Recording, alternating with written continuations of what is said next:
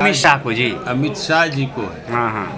इन्होंने जो सामान्य विधानसभा चुनाव 2022 का हो रहा है हम्म, इन्होंने अपने पार्टी के पब्लिक मीटिंग में दिनांक 2 दो 2022 को बदायूं के सवान विधानसभा क्षेत्र में अपनी पार्टी का प्रचार करने गए थे। प्रचार के दौरान उन्होंने जो इष्ट देव भगवान श्री बजरंग बली को का उदाहरण उन्होंने दे दिया आज़म खान, अतीक अहमद और मुख्तार अंसारी से।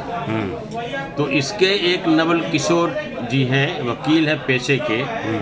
वो इष्ट देव अपने इष्ट देव बजरंग बली के प्रशंसक है पुजारी है। हम्म, तो जब ये इनकी स्पीच विभिन्न पत, समाचार पत्रों में प्रकाशित हुआ हम्म, तो उनके धार्मिक भावनाओं को ठेस पहुँचा। और जैसे ही उनको धार्मिक भावनाओं को ठेस पहुँचा है और जो अखबार वो अपने घर में मंगाते हैं जागरण उसको पढ़ने के बाद उनकी भावनाओं को ठेस पहुँचा।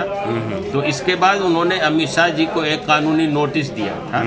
नोटिस देने के बाद इन्होंने एक परिवार दाखिल किया। परिवार दाखिल करने के बाद अधीनस्थ न्यायालय ने ये कहा कि ये छे, ये क्षेत्राधिकार हमारे क्षेत्राधिकार में नहीं है तो इन्होंने खारिज कर दी।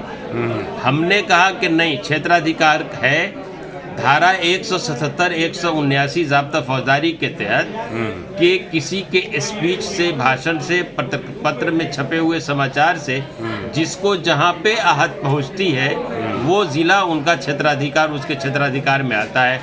तो हमने इस आर्डर के खिलाफ जो निगरानी दाखिल किया था निगरानी दाखिल हमारी हो गई है उसको कोर्ट ने स्वीकार कर लिया है एडमिट हो गई है। अमित शाह को पंद्रह तीन के लिए नोटिस जारी हो गई है।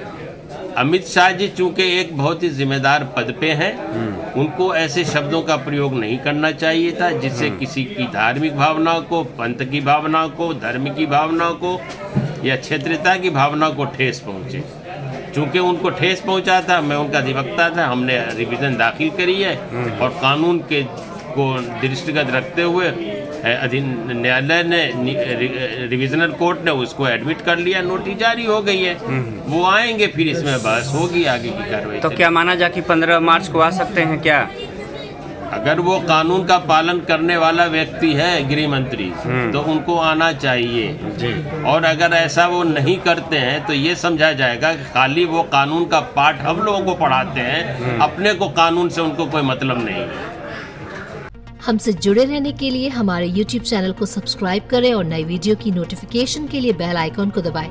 अगर आप ये वीडियो Facebook पर देख रहे हैं तो लाइक ज़रूर करें और ज़्यादा से ज़्यादा शेयर करें धन्यवाद